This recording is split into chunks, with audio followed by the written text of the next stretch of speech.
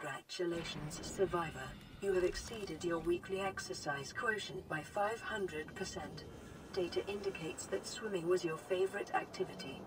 Be sure to vary your routine for uniform muscle development.